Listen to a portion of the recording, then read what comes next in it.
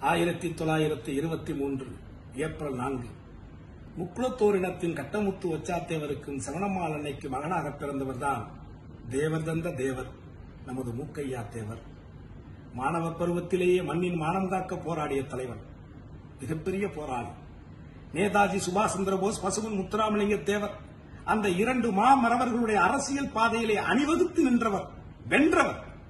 தேசியமும் தெய்வீகமும் இறைவனுக்கு நிகர் என்ற கோட்பாடை விரித்த ஃபார்வர்ட் பிளாக் கட்சியிலே இணைந்து பார்புகள் அடைந்தவர் தேவர் முக்கையா தேவர். ஆயிரத்தி தொள்ளாயிரத்தி ஐம்பத்தி ரெண்டு முதல் சுதந்திர இந்தியாவுடைய பொதுத் தேர்தலிலே பெரிய குளத்திலே பெருவாரியாக வாக்கு பெற்று வெற்றி பெற்றவர்.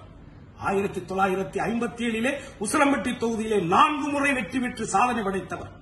பசும்பொன் தேவர் கச்சத்தீவு உரிமைக்கு உறக்க முதல் கொடுத்தார்.